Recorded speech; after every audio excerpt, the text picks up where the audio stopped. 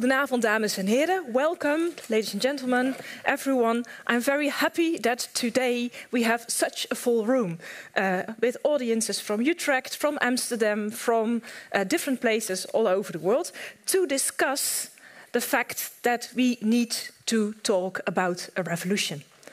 Is it time to have a new revolution? Do democracies need revolutions? Uh, well, at least today they seem to be under pressure. And there are cries that we need more reforms. There are groups from the left, Extinction Rebellion, the, who vote for climate change and want to reform the world on that. There are also groups from the right or even the hard right who also clamour for a kind of a revolution to upturning the elites. So if there's so many loud voices in the public arena, then historical times spring to mind. The discontent with the politics on the street, it looks like echoes from the past. Some might think the French Revolution is imminent.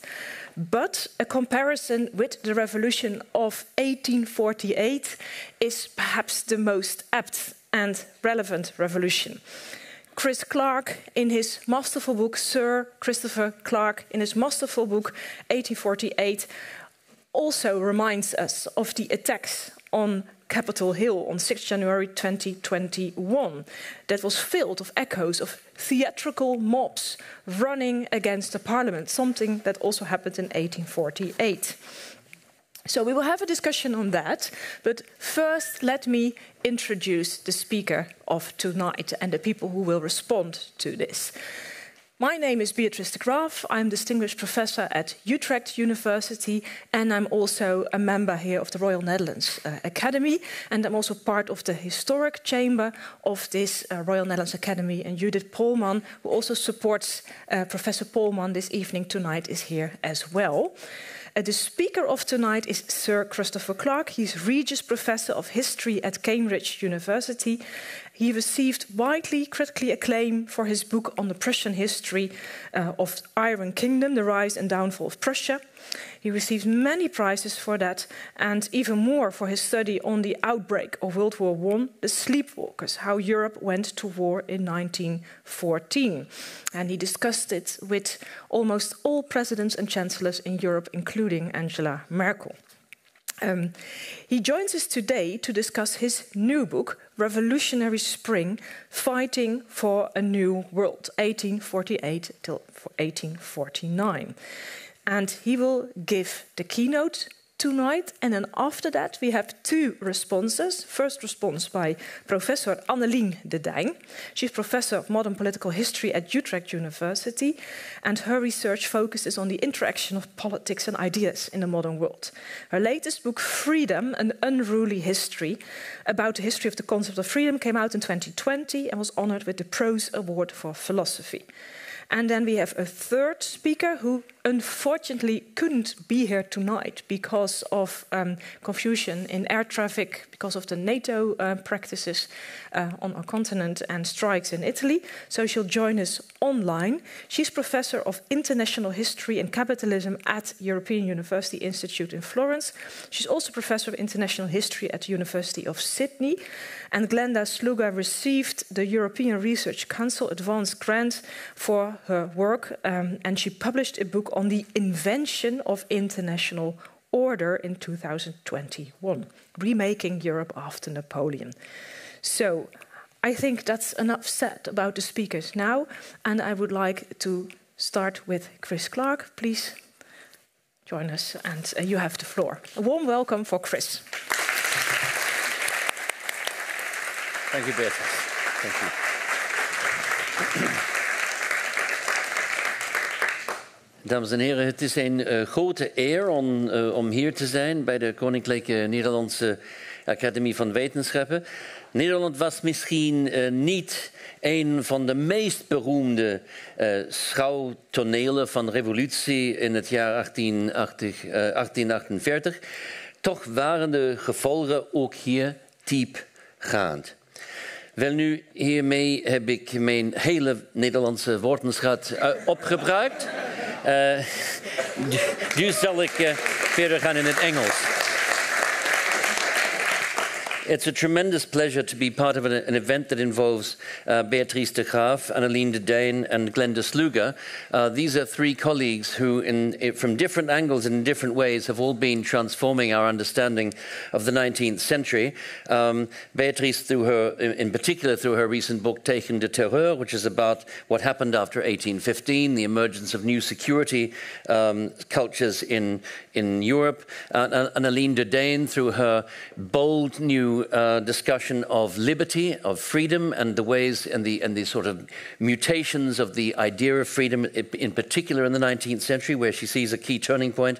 And Glenda Sluga, in her recent study, though there are other ones as well uh, that she's written, Inventing International Order, which is also about the first half of the 19th century and how ideas of what international order is change or are invented anew in this period. But now to come to the subject of my talk in their combination of intensity and geographical extent, the 1848 revolutions. Hang on, there's my title slide. Where has it gone now? Oh, here we are. There we are. That's the title slide. In their combination of intensity and geographical extent, the 1848 revolutions were unique, at least in European history. Neither the great French Revolution of 1789, which is called the French Revolution for a reason, uh, nor the July Revolution of 1830, uh, though there was a certain amount of cascading uh, in 1830-31, nor the Paris Commune of 1871, nor the Russian revolutions of 1905 or the twin revolutions of 1917 sparked a comparable cascade of transcontinental tumults. 1989 looks like a better comparator, but there is still controversy as to whether these uprisings can be characterized as revolutions. And in any case, their direct impact was largely limited to the Warsaw Pact states, or the formerly Warsaw Pact states. By 1848, in contrast, parallel political tumults broke out across the entire continent, from Switzerland and Portugal to Wallachia and Moldavia, from Norway, Denmark, and Sweden to Palermo and the Ionian Islands. This was the only truly European revolution that there has ever been. But it was also, in some respects, a global upheaval, or at least it was an upheaval uh, a European upheaval with a global dimension. The news of revolution in Paris had a profound impact on the French Caribbean because one of the first things that the uh, new government did in Paris was to issue an abolition, a decree, or announce the, uh, the issuance of a decree abolishing slavery throughout the entire French Empire. And that included, of course, the Sugar Islands, on which a particularly brutal form of slavery prevailed, uh, of Guadeloupe, Martinique, Réunion, but also the French bridgeheads on the Senegalese coast, Algeria, and many other locations. In all of these places, the um, ab abolition decree went immediately into effect. And we see one of its consequences was the, present of, the presence of the first men of color to take part in uh, a Parisian, uh, in a national, French National Assembly. This man, he Victor Mazuline, who served as, an, as a deputy in the uh, Assemblée Nationale Constituante, or here his, he was from Martinique, or here his colleague Louisy Mathieu, seen here with his colleagues of the Montagne, which was, as in the first French Revolution, the name given to the deputies of the left in the young nations of Latin America too. The European revolutions galvanized liberal and radical political elites, creating new chains of arguments and discussions, and also the foundation of new clubs and associations. Even in far off Australia, the February Revolution created political waves, though it was not until the 19th of June. Australia, by the way, is where I came from. I grew up in, come from, uh, uh come from. I grew up in Sydney, um, but it was not until the 19th of June, 1848, that the news of the February events reached Sydney in the colony of New South Wales, a reminder of what the Australian historian Geoffrey Blainey once mournfully described as the tyranny of distance. These revolutions were experienced, and this is an important point and something I try and bring across in the book, as European upheavals. The evidence for this is superabundant. But they were nationalized in retrospect the historians and memory managers of the European nations absorbed them into specific national teleologies and path dependencies. And this has meant that while there are many, many brilliant studies of 1848 in particular regions, in countries or cities, synoptic studies of the revolutions are far rarer. So, in writing this book, I wanted to join them up, to think about them in the European frame that it seemed to me was proper to the European horizons of those who experienced them. So, what I wanted to do with the time I have this evening is to say a few words about what I was trying to achieve in this book. The first idea was to get away from a diffusionist model in which the revolutions cascade outwards from Paris, captured in Metternich's famous remark um, Paris catches, uh, sorry, Paris sneezes, the rest of the uh, continent catches a cold. This was not the case in 1848. If you look at the press, the horizons of reporting were already emphatically European before the revolutions had even broken out. Already in 1847, news was spreading across Europe of the events in Switzerland, where a major civil war had broken out. Here we see the two parties in that civil war, the Sonderbund and the, um, and, and the liberal cantons, who fought a civil war with each other. And here we see um, a typical scene from this, uh, the war. Very, it was a very Swiss civil war. Not very many people were killed, only 100. Um, uh, it was a sort of model railway sized civil war. Uh, and here you can see a typical scenery with sort of postcard, postcard uh, in imagery in the background and soldiers crossing a bridge. But it was deadly enough. I mean, 100 people killed is already a tragedy, obviously. And the liberal cantons were victorious. And the news of this liberal revolutionary success was greeted throughout Europe with uh, whooping of delight right across. And in France, you can see the banqueting movement that spreads in France begins to take up the cause of La Liberté Suisse. It's discussed in the Italian press, even in the Wallachian press in far off Bucharest and in uh, Transylvania and the Romanian language press of the Transylvanian parts of, the, of Hungary, which is in the Austrian Empire. In all these places, the Swiss question is discussed with great excitement and earnestness. And then comes the news from Sicily, from Palermo, from Naples.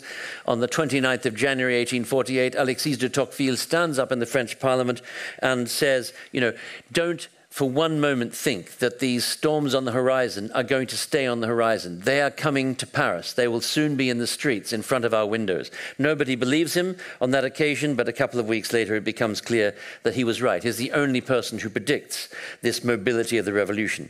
But everybody agrees that this is a connected tumult, that this is not a continent with siloed, separated dynastic and national entities. It is a connected society an editorial of the journal La Réforme, which we see here. Uh, hang on, got to make this move. There we are. Of La Réforme announces shortly before the revolution breaks out, it, it, announces that it's nonsense to speak of Europe as consisting in some parts of, of, advanced countries that are ripe for a political upheaval, and in other parts of backward countries that are going to have to wait centuries before revolution arrives. They say, no, we all want the same things. The problems that gnaw at the entrails of Germany are the problems that gnaw at the entrails of France, of Spain, of every other European state. And of course, we know that in one of the most famous uh, diagnoses of the revolutionary phenomenon, the Communist Manifesto, penned by Marx and Engels, that they referred not to a, a, a, ein Gespenst geht in Europa um, or geht um in Europa. It was not a, a spectre haunting, you know, Germany or Italy or the back or the or the more uh, regressively governed states. It was a spectre haunting the whole of Europe. It might seem obvious that leftist intellectuals would think of Europe as a joined up society, but even in liberal and conservative newspapers, we find the same intimations of the connectedness of Europe, the same broad European horizons. In uh, there's Tocqueville and he's making his prediction, or he's not doing it there, but there's a piece from the thing. And there's the, the, the Curierul Românesc, um, a, a Romanian language paper published in Bucharest, which made exactly the same observations about the troubles in Switzerland, in southern Italy, and so on, and said, you know, the peoples of Europe are rising, get ready. And we find the same kind of European horizons in this book here, the Gazeta de Transilvania, another Romanian paper, Romanian language paper, but this time from inside the Kingdom of Hungary. And in this one here, in far off uh, Finland, in Helsinki, Suometar, um, likewise reported on the disturbances in the rest of Europe, um, admittedly with a certain time delay that took a while for the news to get into the Russian Empire and all the way down to the, uh, to the Finnish, the Duchy of, uh, the Grand Duchy of Finland, but nevertheless it eventually made it there. And the editorial writers of Suometar made no bones about the fact that they sympathized with this revolutionary movement across the, uh, across the continent and that, and that they regarded it as a single connected phenomenon. So, a second, that was one objective, to bring out the connected, the European connectivity of this um, revolution. A second objective was to expose the special quality of revolution as experience. Virtually all of the testimony that we have refers to the intensity of revolution as an experience of mobilization, of immersion in a collective self. I'm thinking here of the radical Berlin law student Wilhelm Börner, who reports in his memoirs, written just a couple of years after the revolution, he says, I was in such a state of animation, of excitement, that, and my heart was thudding so hard in my chest that I feared that it would blow a hole in my ribs. And he said, So in the end, I couldn't stay in my rooms. I had to get out into the streets. And when I got out, got out into the streets, I felt I could hear the hearts of everyone else beating too. And this sense of connectedness with other people, embracing strangers, this is something strangers embrace each other all across Europe. And this is remarked upon people of very different social status, weeping in each other's arms in the euphoria, this moment of extraordinary upheaval and, uh, and dis inhibition, which happens in the spring days of uh, the revolutions in Europe. Or you think of Fanny Lewald, um, the Berlin based writer and memoirist, commenting on her experiences in Paris, where she said it was the constant singing. The singing never stopped. Um, the energy was so intense. One witness in Buda and Pest, the twin cities, the twin capital cities, if you like, of the, of the Kingdom of Hungary. One witness in Buda and Pest reported that the energy in the city was so intense that he wondered that the Danube River didn't rise up out of its banks and join in the, in the celebrations. The light seemed different. A lot of people comment on that. They said it seemed as if the light was brighter. They said people seemed taller.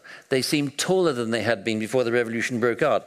They seemed to walk and even to laugh differently there was a subsiding or a falling away of fear that's also widely discussed. It, you realize, although this is not something that's often articulated, that people were afraid of the troops who were ubiquitous in the European cities. They could be seen guarding all the public buildings. That fear suddenly falls away, and you have a phenomenon referred to by the Italian uh, revolutionary who later wrote a memoir of his experiences, Michitelli, who refers to uno squilibrio di due paure, a, a disequilibrium, an, an imbalance of two fears. There their fear of us was growing while our fear of them was dwindling. And revolutionary behaviors, revolutionary situations, sorry, called for special kinds of behavior. Most people had never been in a revolution before.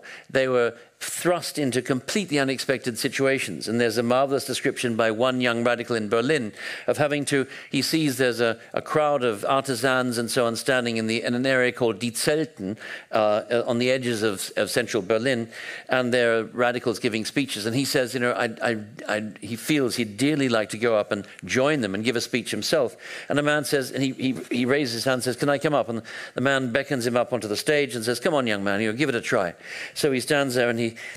he's, he's trying to get going, but he's so nervous. He said he feels as if a, a, a wire or a, a, shoelace has been tightened around his throat.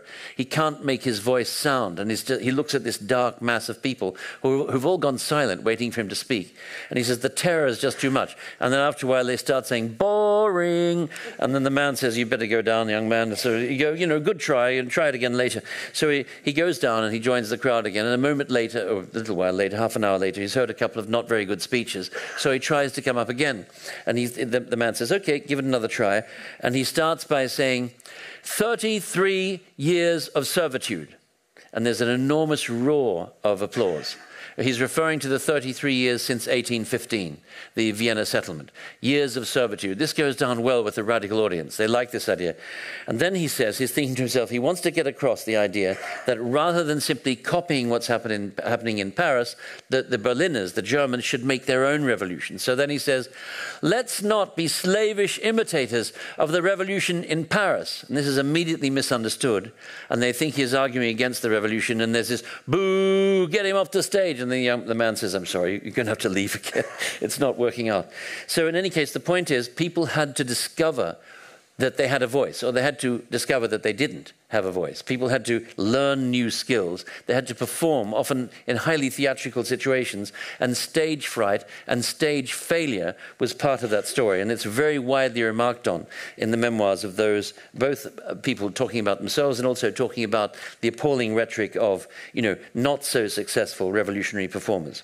So that was something else. I wanted to, you know, expose the texture of experience of revolution, which for everybody who lived through it was a, a, memory that marked them for life. I mean, they, people never forgot what it was like to be in this situation.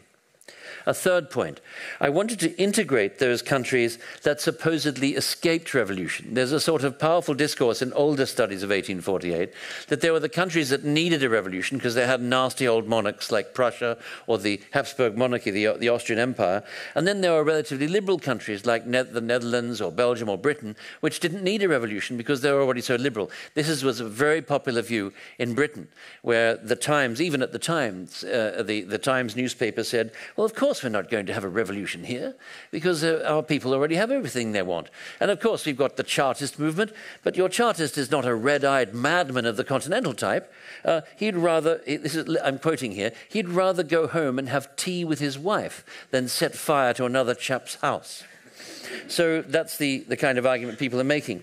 But in fact, we know that in the Netherlands, for example, all of the conditions were satisfied on the eve of 1848 for the unleashing of a rebellion, even in this country. A hungry population, an increasingly radical middle class. And here, too, there were processions and demonstrations that demanded lower taxes, cheaper food, and more democracy, just as there were throughout the rest of the continent. And here it was this, the monarch's sudden decision, under duress and in highly irregular conditions, to concede the formation of a committee for revision of the constitution that helped to deflect an upheaval. And the man, Wilhelm Willem II, Willem II, appointed to do this, to head this committee, was none other than jo Johann Rudolf Thorbecke, who shepherded the introduction of constitutional and other reforms, including some social reforms, that diffused the mood of discontent brewing in the country.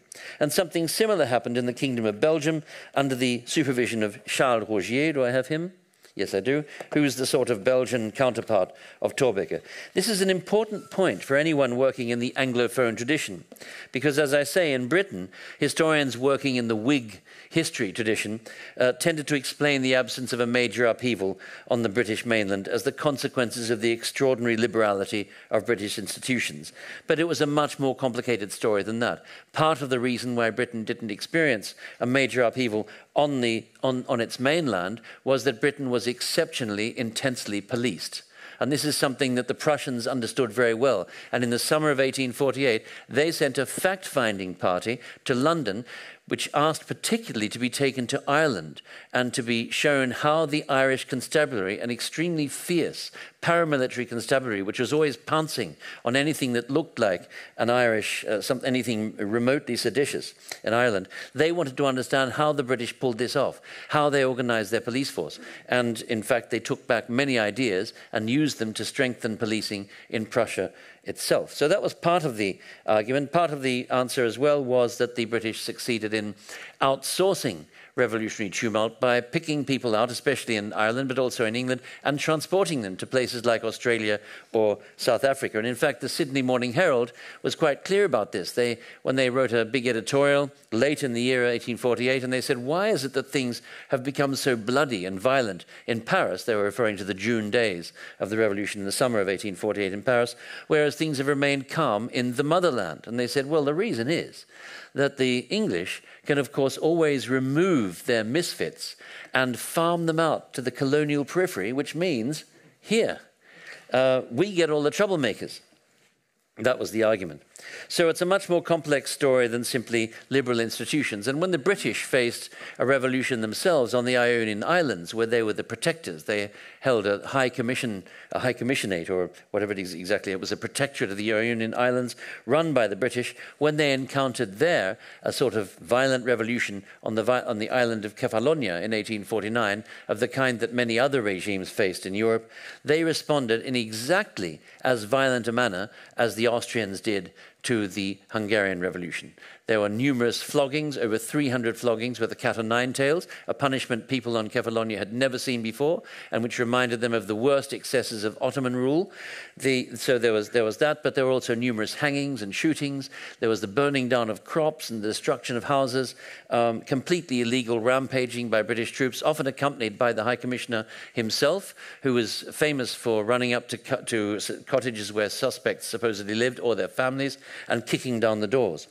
So the British behaved more or less as everybody else did when they faced a revolution on their own turf. And I think integrating these cases, the cases of the dogs that didn't bark, to borrow from Conan Doyle's, uh, the title of one of his short stories, um, underscores the genuinely European scale of these events and is a check at the same time. It's a check to liberal condescension. I also wanted to capture the polyvocality of these uh, revolutions. They were garrulous, they were very, very communicative. It's astonishing how many of the participants in the Revolution of 1848 wrote books about their own experiences. These books were sometimes quite substantial books, 400, 500 pages, with footnotes and tables, all sorts of information. There's Émile Thomas, who ran the Ateliers Nationaux, the national workshops for unemployed men in Paris, wrote a massive history of the, of the Ateliers Nationaux about a month or two after they were closed down. I mean, I don't know where he found the time before an era of personal computing to do this. There's an even more striking case of a book called Le Ultime Giornate degli Austriaci a Milano, which was written five days after the Austrians were driven out of Milan. This book apparently took five days to write. I mean, when you actually read the book, which I have, one is less impressed when one reads it. Um, in fact, uh, I began thinking, well, how come it took him a whole five days to write this? But anyway, nevertheless, people were very quick to hurry into print. And they could do that because they had a highly historicized understanding of what was going on, because they knew this was not the first revolution. They all had the images and the narrative, scraps of the narrative of the great French Revolution of 1789 into the 1790s, playing at the backs of their heads like old movies. So they didn't read this revolution as just a sort of, you know, bolt out of the, out of the blue. They read it as history in the present, the unfolding of history in now, in the now, as it were. History had moved from the past into the present, and you could watch it, and one was constantly comparing what was happening in 1848 with the previous revolutions, 1830, but in particular the French uh, original. So you have these many, many voices that we can listen to when we get near these revolutions. But this multitude of voices also, of course, helps to explain it's the richness of the revolution, its intellectual richness, its emotional intensity, but it's also where we find the, the key to the fragility of these revolutionary fronts. Because we see very quickly how this multitude of voices produces fine cracks, which, like the cracks in the surface of paint, which spread across the revolutionary fronts you see a loss of cohesion and a dispersal of effort. It turned out that those who saw themselves as taking part in these revolutions did not agree on what the revolution should be used to achieve. It's a little bit like the, the Tahrir Square moment in Egypt in, eight, in 2011. Initially, it looked like the whole of Egyptian society was there. It didn't take very long before it became clear that it was a lot more complex than that. And Fanny Lewald is a fascinating witness to this process by which even those new elites, liberal ministers who've been brought into government because of the revolution, or the provisional government in France, the way in which they cease to use the word revolution by the summer of 1848, they're getting embarrassed by the revolution which put them into power. Um, and they start to use instead words like les événements, die Ereignisse, die Vorkommnisse, um, and so on. These deep and ubiquitous forms of disagreement across the revolutionary front were possible because these revolutions were not made by revolutionaries. That's one of the core arguments of the book. We think of revolutions as events made by people that we call revolutionaries. Uh, but perhaps there's never been a revolution that actually follows that recipe. Certainly, the 1848 revolutions did not. It was not revolutionaries who made the revolution, it was the other way round. The revolutions made revolutionaries. The revolutionaries were those who found themselves, after the revolutions had occurred, in a position to inherit the, the, the shattered sovereignty, the vagabond sovereignty created by the upheaval of the spring of 1848. But what that meant was that there were no plans, no roadmaps. The people who we think of as revolutionaries were as confused and surprised by the revolutions. In fact, in some ways, they were more confused and surprised than those who saw it as their task to channel or stop them. I also used the book, or I wanted to use the book, to reflect on the idea of emancipation. The idea of emancipation, it was one of the, to call it a buzzword is just not a strong enough expression. It was one of the kind of words of the era in the mid 19th century. Heinrich Heine said, you know, we're now in an age where the only road into the future is via emancipation the emancipation of everyone, the emancipation of the Jews, the emancipation of African captives, the emancipation of Catholics in Britain. Interestingly enough, he did not refer to the emancipation of women. I'll come to that in a moment. But in any case, uh, many commentators referred to emancipation as a word, or, well, they, they, bear witness to the fact that it has undergone, undergone a huge process of semantic inflation. It becomes a word through which time flows. And what emancipation meant was a linear movement into a future and better state of affairs. Unfortunately, the reality was very, very different. There was no linear movement into a better state of affairs. And one of the hopes I had for this book that was that it would do justice, in particular, to the place of women in these events. I don't want to be under, misunderstood here. I don't mean, as, as historians sometimes understand it, I don't mean going out in search of shy marginal female figures and sort of coaxing them gently onto the stage. Come on, come on, that's all right. Come into the center. I mean simply making sense of the fact that women were right in the middle of the revolutionary experience from the very beginning. And if you look at images of the revolution of 1848, you see them absolutely everywhere, even on the barricades, not just, as though you often see that happening as well, bringing food or tea or coffee uh, or making bullets for the men, but also themselves firing uh, weapons and taking part in the combat. And there are numerous examples of women in Paris, for example, with badly burned faces from powder, powder burns including one woman who was a 72 year old widow and led a gang of men in, in, in uh, defending a barricade against uh, the troops, and in the process was quite seriously wounded. Women organized during these revolutions on a stupendous scale. They formed clubs, associations, newspapers, not to mention their role, as I've just mentioned, as fighters and protested, protesters in most of the key theaters of conflict. But what's interesting is how many male narratives of 1848 move them to the margins. And we, we encounter the women often in male narratives um, waving from windows. So they'll say there was a, a, massive tumult on the streets, and how charming it was to see the women uh, waving from windows or throwing cockades or flowers from windows. Uh, how lovely that they were there too. But that does not do justice to their role. And in fact, one of the interesting things about the women of this era is that they're the quality of their witness to the events of 1848. There's Margaret Fuller, the American journalist and feminist who was in Rome during the Roman Republic and wrote far and away the richest and most evocative account of the events. And here is uh, Marie d'Agoult, who wrote under a male pseudonym, Daniel Stern, what is far and away the best history of the French Revolution of 1848. Uh, and do I have another one? That's enough for now. And there's the L'Opinion des Femmes, um, founded by uh, French uh, women activists in order to advocate for women's cause. And what's interesting about the accounts that women offer of 1848 is that, is that they're very different from the accounts we have from men.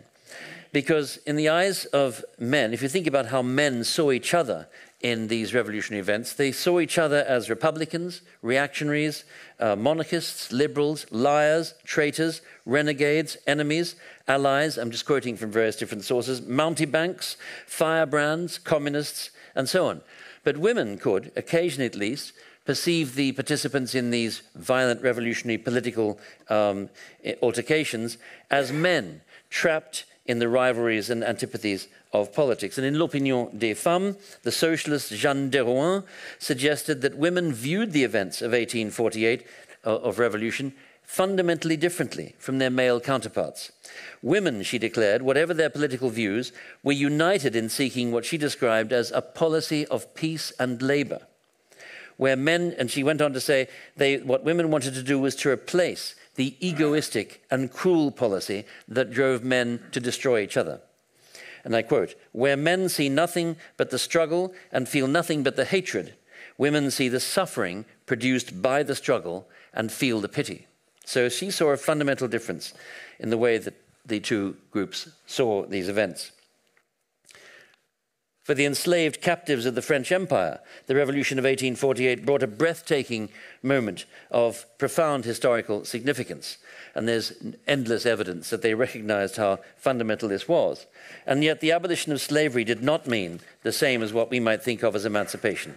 To abolish slavery was one thing, to remove the many disabilities associated with former slave status was very much another. There we see one of the proclamations on Guadeloupe of the Il n'y a plus d'esclaves à la Guadeloupe, uh, and there we see a proclamation of abolition on Réunion Island. A lot of French Republican images of the abolition capture this notion of grateful captives, you know, thankfully receiving the abolition. In fact, it was not like that at all. The, uh, the captives on these islands seized their freedom before the abolition decree arrived. The news arrived that the provisional government intended, in due course, to issue a decree of abolition, and that was enough. The whole of Martinique and Guadeloupe went up into, it became impossible to make anyone work, and there was violence and um, you know the, dis disputation of power. And Governor Rostoland, you can see him in this image that I just showed you, Governor Rostoland, seen here generously offering the decree, was in fact forced to emancipate everybody in a kind of improvised action for which he had no authorization before the actual decree arrived on the island. And there are other cases as well. Going back here. There's the, on the Danish Caribbean, we see the same proclamation, more or less. And there are other cases as well. We find a similar temporal divide in the case of the European Jews, who were freed of a lot of their civil disabilities, but a lot of these civil disabilities were then subsequently reimposed, at least in many parts of Central Europe. And the same happened even to the so called Roma slaves, one of the less well known group, uh, enslaved gypsies of Central Europe, in particular the Hungarian and Romanian lands, who were re enslaved as soon as the Romanian Revolution came to an end. They were liberated and then re enslaved. But if we take a step back from these processes, five minutes, we, if we take a step back, one thing that's very striking about these processes of emancipation is that they all have the same narrative shape. There's a surge of interest in emancipation around the end of the 18th century, Les Amis des Noirs, you know, Olympe de Gouges, um, and so on, Wollstonecraft, uh, and then it subsides in the, in the period after 1815, and then it surges again in the 1840s, then it subsides, and so on. There's a wave like structure to all of these emancipations, and it's interesting to think about what that means. Then finally, there's the fact that this is not just about legislative reforms. Women achieve remarkably little in 1848 for all their struggle. But the process of advocacy itself strengthens networks or creates new networks, and many of these networks survive into the next generations to go on building the case for the emancipation of women. What matters, Julius Fürst, the Jewish advocate for Jewish civil rights, wrote in 1851 what matters is not the result, but rather the activity that gave birth to this outcome. And I have a picture, I think, of Julius Fürst. There he is there. And one struck at the end, if you look at these emancipation processes and how slow they are and how non-linear, uh, then one is struck by the special quality of gender and racial inequality as particularly or even uniquely sticky and intractable forms of discrimination. Now, there's a lot more one could say about this revolution. It was an anarchic, sprawling monster event, and writing about it or even reading about it is a bit like I hope reading my book isn't like this, but is a bit like driving around for the first time without Google Maps in the suburbs of Los Angeles. It just goes on and on and on. But before I finish, there is one last issue I wanted to touch on. And that is, when I was at school, I hated these revolutions because the teacher told us, and I remember that he said, um, uh, he said, people, these revolutions were complicated and they were a failure.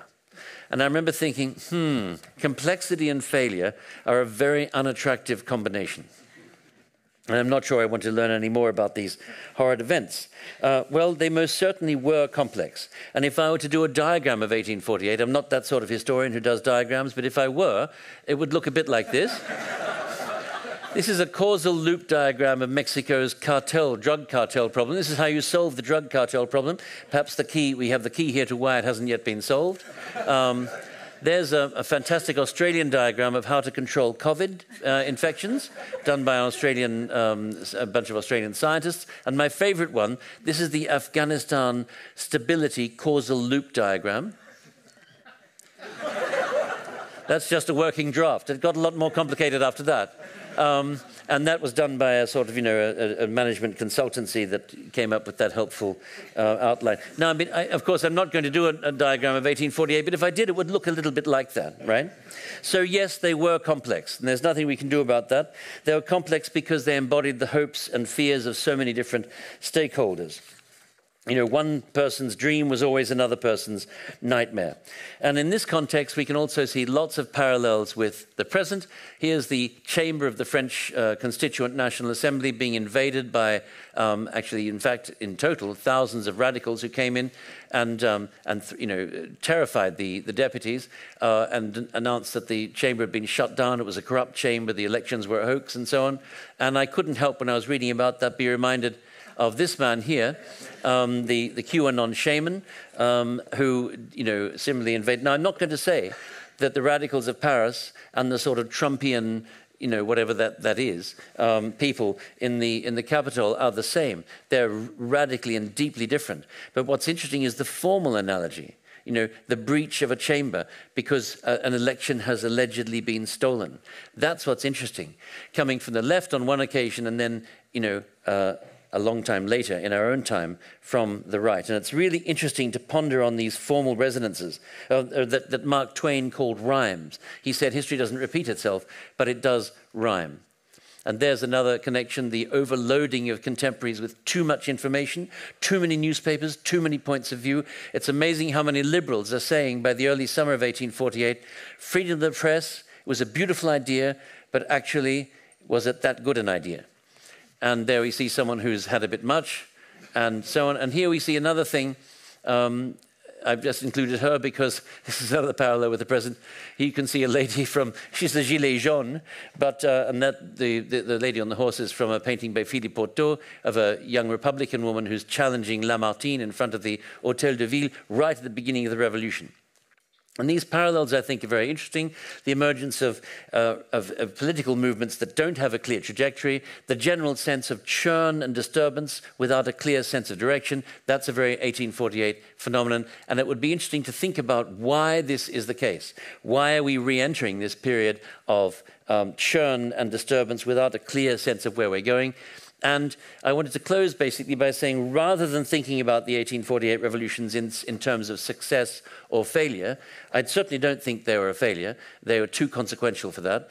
We could talk about that perhaps in discussion. But I also don't think they're a success. I think success and failure are both equally inadequate ways of thinking about what happened in 1848. It, it, helps, it's more helpful to think of 1848 as the particle collision chamber in the middle of Europe's 19th century. Everybody who was around and active got thrown into this chamber, everything got mashed together, pushed out of shape, and it came out the other side, sometimes fragmented into a hundred pieces, and showered through the rest of the century everybody and everything was changed by these revolutions.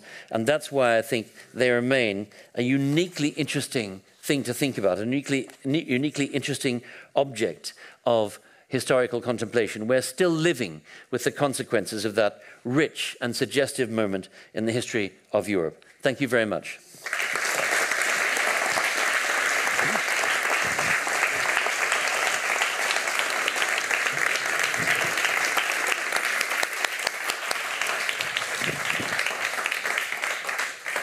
I forgot to introduce Chris also by saying that he is one of the most truly spectacular European historians who also gives us a sense of the European dynamic of the history that took place here. And you notice this energy, the dynamics of European history as narrated by Chris yourself.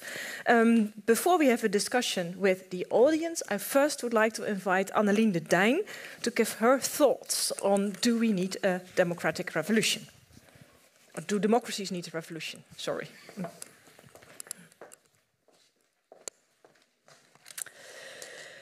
Christopher Clark's Revolutionary Spring is a remarkable, even a magnificent achievement.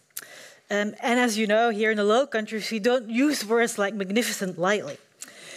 The 1848 revolutions, like their late 18th century predecessor, have been the subject of sustained research and historical debate practically from the very moment they erupted.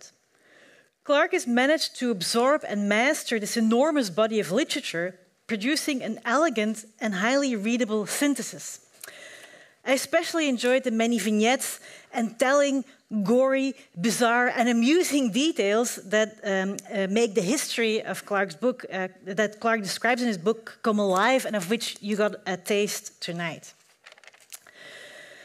But Clark's book is not just an elegant synthesis, it also makes a number of new and original claims. Um, thus, Clark highlights, as you just heard, the European character of the 1848 revolutions, a dimension that has become obscured in the existing literature, which tends to focus on the national trajectories of these revolutions. But the most important of these new claims uh, made in the book, in my view, is that the 1848 revolutions were not a failure as they've usually been described. Instead, Clark wants us to see that these revolutions were an important turning point in European history and to a lesser extent in uh, global history, that they were, in his words, deeply consequential. The 1848 revolutions, he argues, obviously did not create a Europe of democratic republics, as many revolutionaries had hoped, but they did um, change the constitutional framework of European states in meaningful ways. In the Netherlands, for instance, fear of revolutionary upheaval led to the demise of the neo absolutist regime introduced in 1813 and its replacement with a liberal constitutional monarchy in which the king's personal power was made subservient to parliament. In France, the Democratic Republic, created by the February Revolution, collapsed after a few years, but it was not replaced with anything resembling what had come before. Napoleon III's Second Empire obviously drew in many ways on the example of his more famous uncle. But having won power via the electoral way, rather than on account of his military prowess, Napoleon III also created a new template for regime change that prefigured the populist authoritarian regimes of the 20th century, rather than harking back to the late 18th. Even in countries like Austria, where the counter revolution was particularly successful, Clark shows the policies adopted by uh, the neo absolutist administration of the 1850s reflected a new order of priorities that took account of a much broader range of social and economic interests than had been the case in the pre 1848 period. These are all important points, and Clark is quite persuasive in arguing that the 1848 revolutions had a deep and lasting impact on European political history. Yet I'm not wholly persuaded by um, the stronger version of his claim that the 1848 revolutions were not just impactful, but also that they were not a failure. And it's, it is hard um, when you say that something is not a failure not to understand that you're also saying that they were a success. And I will conclude my remarks, although I know that's not um, you know, literally what you're trying to say. And I will conclude my remarks by trying to explain why I think that we can and should continue to label these revolutions as, as such, so as failures. Yes, the 1848 revolutions were impactful, but they were impactful because they failed. It is in their failure that they were impactful. Um, revolutions, as Clark himself emphasizes, are not just natural events, but political ones. They are made by historical actors with particular objectives and intentions. And when viewed from this perspective, the 1848 revolutions, I would argue, largely failed uh, in doing what they set out to do. That's perhaps most easily discernible in the case of the February Revolution in France. That revolution was directed quite explicitly against the elitist liberal regime um, headed by the July monarchy, a regime in which political power was literally monopolized by the 1%. That is um, uh, the number of people enfranchised in the July Revolution uh, July monarchy, sorry. The revolutionaries who took to the streets in 1848 set out to replace this regime with a more democratic one, although it bears uh, noticing, obviously, that their definition of democracy was a highly misogynistic one. That is why manhood suffrage was uh, one of their key demands. But, it is, uh, but a few years later, um, it was quite obvious that the February Revolution had failed to bring about a more democratic regime. And that was not just a huge setback for the democratization of France, but arguably um, for the democratization elsewhere in Europe as well. In Britain, for instance, conservative elites eagerly seized upon events in France uh, to nip the Chartist movement in the bud. Now, we will, of course, never know whether Britain would have democratized more rapidly without 1848. But it is clear that the failure of the February Revolution, and especially the violence of the June days, provided powerful ammunition for dem democracy's conservative opponents. the British historian Thomas Babington Macaulay, for instance, concluded from, the February, from his observation of the February Revolution that democracy and civilization, as he put it, simply cannot coexist. But it wasn't just conservatives who concluded from 1848 that democracy simply uh, couldn't work, that it was an unworkable regime. On the opposite side of the political spectrum, Karl Marx and Friedrich Engels came to a remarkably similar conclusion. The lesson they drew from 1848 was that in a capitalist regime, democracy would always remain a front for the protection of elite interests, and that true emancipation, the emancipation of the labor classes, could only come about through the abolition of private property.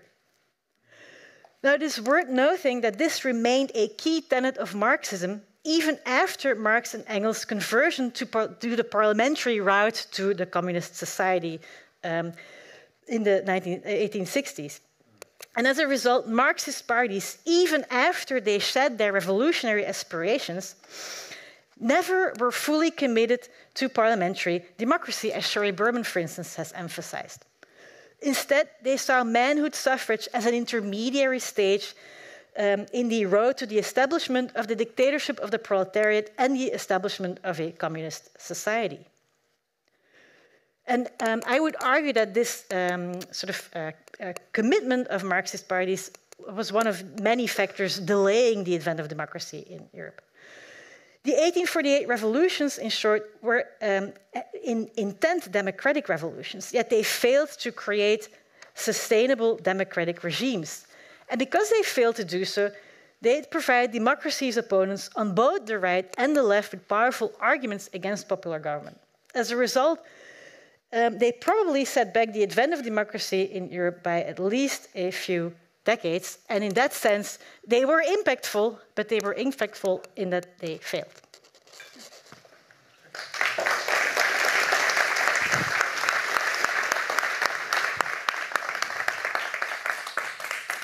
Thank you so much, Annelien.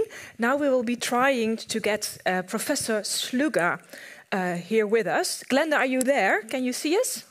Yeah. Hi. Hi.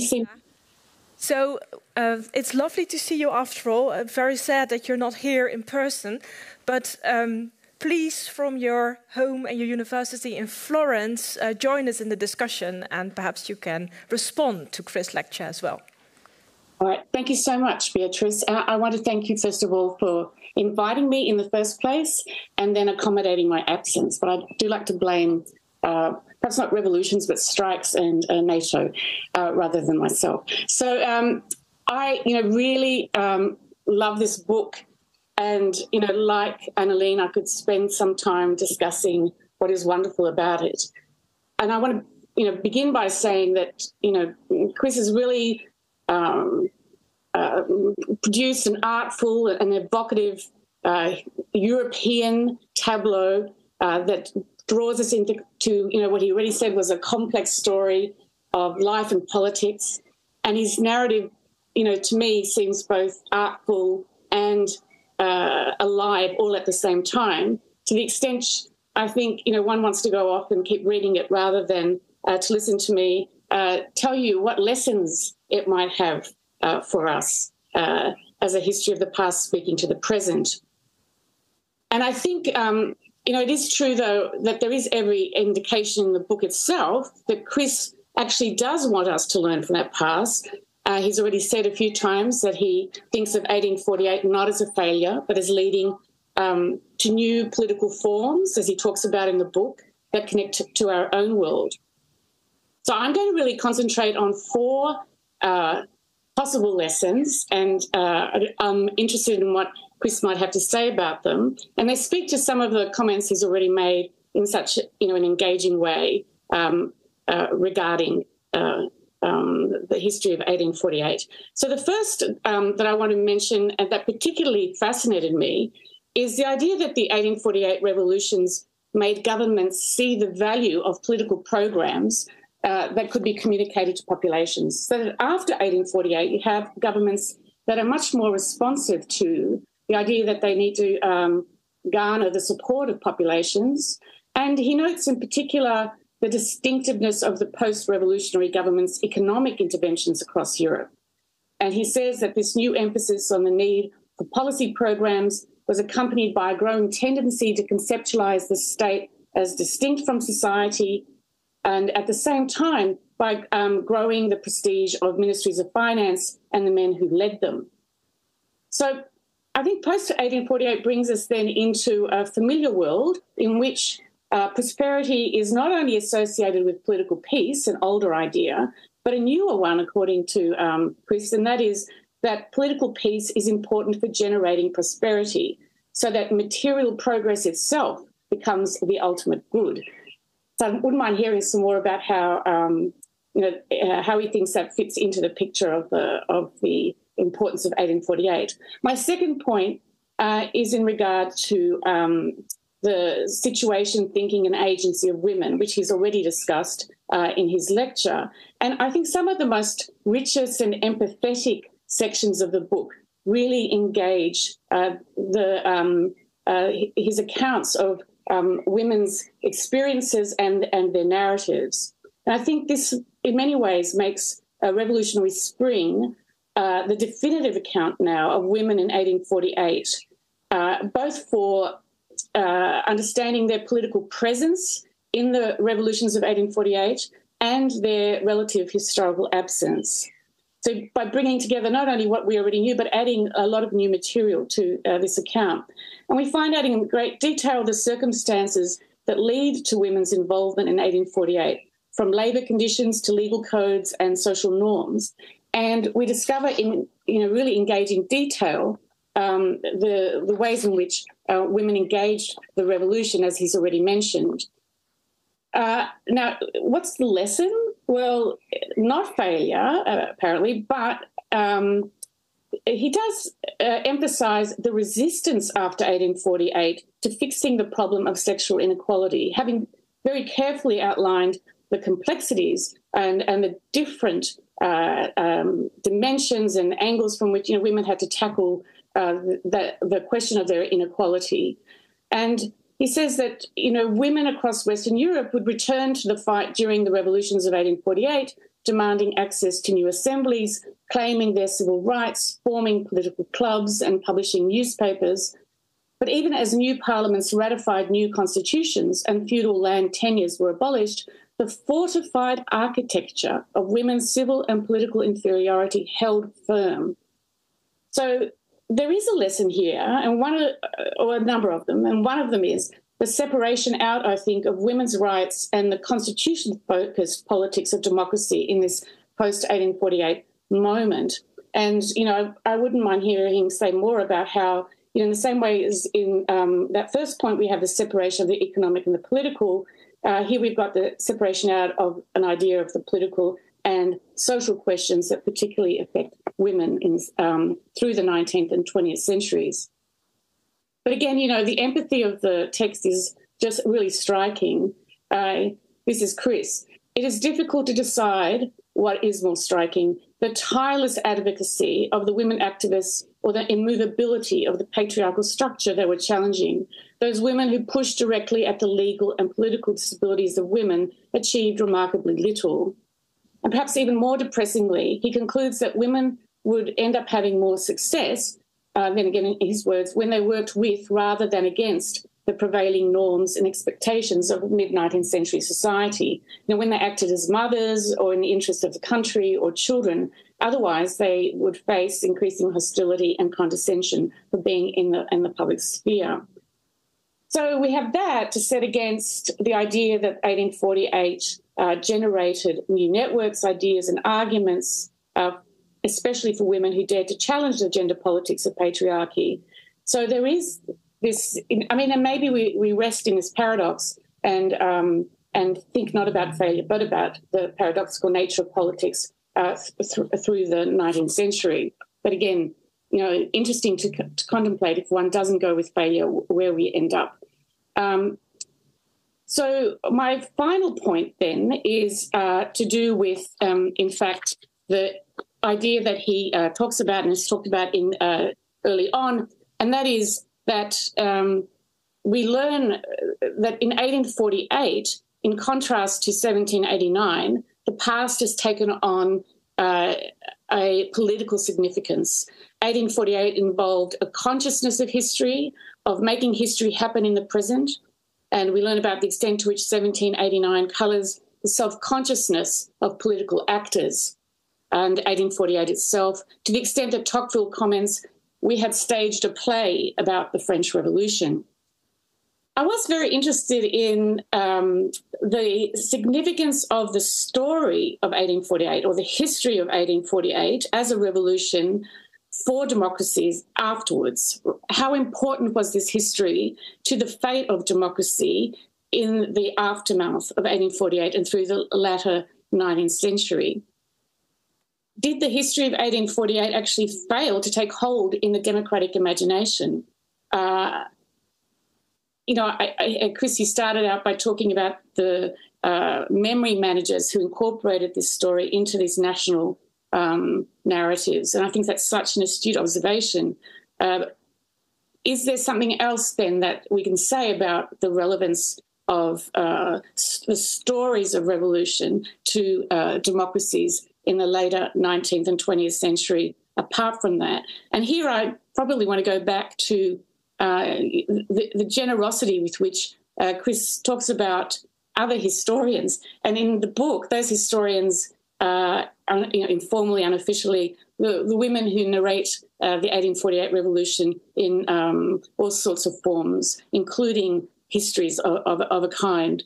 And, uh, you know, giving space to women to speak not only as the agents of change, but as the authors of those histories, uh, I think is um, a really useful resource. And we might go turning to those women for some lessons on the relevance of 1848 you know, do their stories bring back together the social and the political uh, and the economic? Do they offer other kinds of ways of thinking about politics in the latter 19th century and the early 20th? You know, overall, you know, I want to thank you for opening up a truly European history and expanding our, our idea of what European historians can do and think uh, with the past. Thank you.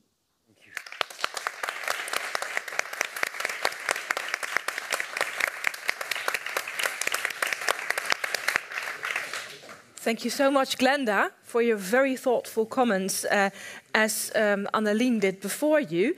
Um, Chris, aren't yeah. you overwhelmed by these questions? I'm, I'm overwhelmed by the, uh, by the astuteness and the generosity of the comments from, from Annelien and Glenda, and thank you both very, very much. What wonderful comments. Um, shall I just respond briefly to a couple of points? Um, the first one relates to failure. Look, you know, you're obviously right. there is a lot of failure happening in 1848 if you focus on particular groups, which are defined by particular intentions, which are not realized. I mean, you could say that all these women, you know, who are the, the women associated with L'Opinion des Femmes, they failed. I mean, they didn't get legislative transformation. They didn't, citoyenne never became equal with citoyen, and so on, which is one of the things they, they were calling for. Um, democracy didn't happen, uh, and so on. I mean, the relationship between, uh, but two points about that. The first is, that these revolutions, that these revolutions that I know you know this, so who am I saying this to? You know, they weren't, they weren't embodying a single intention. That's the whole problem. That you can find individual groups that fail, but in order to say the whole thing, or to, to, to capture the whole thing under the rubric of failure, what you have to do is decide that the revolution is really just the affair of those groups who didn't succeed. And so then you'd have to say, well, you know, democracy didn't happen, so the democratic movement was a failure and the revolutions were a failure. But what if other groups are involved in the revolutions, like liberals, for example? In many ways, liberals succeeded you know, they got a huge amount out of this. They got their constitutional order. In many places, you have parliamentary systems, you have elections, you have um, the legally necessary recording of parliamentary debates, Hansard style, and so on. These are all liberal demands, and a lot of them are realized. And so, you, and you can even think of, you know, conservatives who are tremendous winners from 1848, like Bismarck in many ways, um, who you know repeatedly refers in his memoirs to 1848 as the moment that made him. He's a man of 1848, completely a creature of that moment. So, you know, um, it's true there is failure for particular individuals and for particular groups, and certain objectives fail to be realized, but. The revolutions are the, precisely the complexity of the revolution means that you know we have to think of it in terms of of many, it seems to me anyway, I wanted to bring in many different stakeholders with conflicting intentions and think about the impact of that, you know, complex interaction. And sometimes it's hard to draw a line between the revolutionaries and the counter revolutionaries. I mean, was Napoleon a revolutionary, Napoleon III, or a counter revolutionary? I mean, he said in his um, Les Idées Napoléoniennes, which, he, which is a fairly good blueprint for what he does after 1849, um, first as president of the Republic and then as later as emperor, uh, he said, you know, my, what my uncle understood, his great, the great Napoleon I, he said was that there's no point in trying to stop a revolution. You can't stop revolution. You can't stop progress. But what you can do is take it off the streets and put it inside government. And that was what he wanted to do. A third of the préfets of the new police um, administrations in Paris are former Democrats. The guy who ran the um, you know, the, the interior ministry, the sort of super ministry that dominated Austrian politics in the 50s, was a man who had been on police search lists, Alexander, Dr. Alexander Bach. He made a walk across the, he, he made a long march through the institutions, as they used to say about the 68ers, you know. So I think there are 48ers who, you know, undergo a complex trajectory as they try and realize through state structures what previously they tried to realize through civil society-based movements. And there are, you know, complex ways in which discourses, which had been dissenting discourses, get absorbed by government, like the discourses of the social question or, or the statistical critiques, which become part of, you know, um, social critique in the 1830s and 40s, become part of the repertory of government. Now, that's not a necessarily progressive development in democratic terms. It's a move towards technocracy. But nevertheless, it's, it's too complex uh, a development, it seems to me, to be captured by the rubric of failure. So I, I, you know, I concede your observations; they're absolutely right. But I just think that the larger picture resists um, that argument for failure. That, in my view, it does. But and then coming to um, what what um, Glenda said. Uh, thank you, Glenda, for your comments about the the, the role that women play in this. Um, I think that you know um, it's, it's very interesting, this, the, the, peculiar resistance that you refer to of patriarchy to women's enfranchisement um, is a remarkable fact. Once you just start thinking about it as not simply part of a natural order, and you listen, for example, to what Tocqueville has to say when he goes to a, a Republican fete in Paris, and um, this is in, in April 1848, and among the things that are on show are um, the so called 500 young virgins. And these are women who've been brought from the workshops of Paris, and they're all dressed in white dresses, and they parade with, carrying palms, and they're wearing oak leaf, you know, crowns and so on, garlands in their hair and one of them presents a, a, poem expressing her admiration for Lamartine and so on. Tocqueville looks on at these young women from the working class dist- districts of Paris, and he is filled with the most visceral disgust. This is one of the great luminaries of liberalism, and he looks at these and he's at these disgusting creatures. He's repelled by their physical appearance. Uh, now, that is noteworthy. Why is that there? Why does it feel, why does Tocqueville uh, feel disgusted by the women? Why doesn't he feel angry with the people who organize this event if he doesn't like its politics? Why doesn't he say these revolting Republicans, they're always banging on about their Republic and so on? Um, why does he focus on the women? And there's something really visceral in that, which I think also is present in the history of racial discrimination, where people can, as it were, reduce their, their, their arguments to almost to bodily reflexes. It's the same as what happened in, in, the, in the Frankfurt Parliament. In many ways, a very admirable institution with a large radical minority and a big liberal majority. Uh, when the question of women's enfranchisement was, was discussed, loud guffaws, really loud belly laughs from all over the chamber from these men who couldn't help themselves. Just they weren't doing it to mock the women. They just found it genuinely hilarious that anyone would think about doing this. So there is something really worth thinking about. The you know peculiar places in the, in, the, in the system where change is simply not happening, where the resistance is so strong. And that applies also even to the emancipated uh, African captives of the Sugar Islands, who you know, are emancipated in name, that's to say the, uh, slavery is abolished, but they're then tied down to their parcellen, to their, to their land, by new laws, a new capitalist system of work uh, workbook laws and anti-vagabondage laws and so on that make that force them to work on the land that they traditionally worked on. So those moments of resistance are deeply, deeply interesting and worth uh, pondering on. And, and, I think they are concentrated around those areas of gender and race, which are special.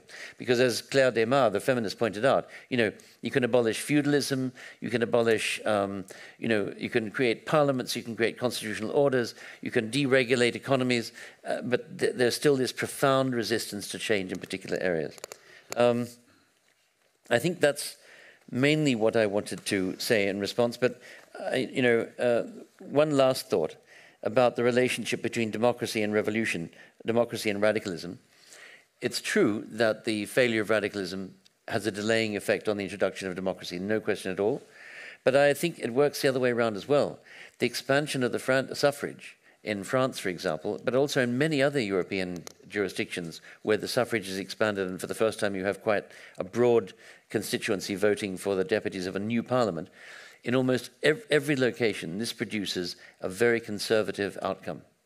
So one of the problems that people like Proudhon have to struggle with is that, you know, even an almost universal franchise, manhood franchise, of course, it's always just the men, even an, an, expansion of the franchise is not going to revolutionize the content of politics. It may have the opposite effect. It may bring conservative people from rural locations into the political process and empower liberal and even reactionary politics rather than the radical project. So, in other words, the relationship between radical demands and democracies is more complex, uh, or it's, it's vexingly complex, at least for contemporaries. And, you know, those parliamentary elections are a body blow to the left. And in a way, that struggle how do you achieve majoritarian status for a politics which is genuinely transformative remains the central you know, challenge of the left.